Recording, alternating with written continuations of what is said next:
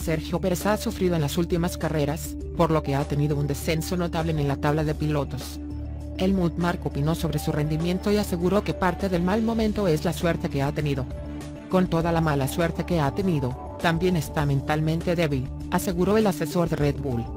De igual forma, Marco afirmó que los principales objetivos en este momento es recuperar la mejor forma de Checo Pérez y ganar un nuevo título para Max Verstappen. Todo eso es especulación. Nosotros no vamos a participar en eso, estamos concentrados en ganar el Mundial.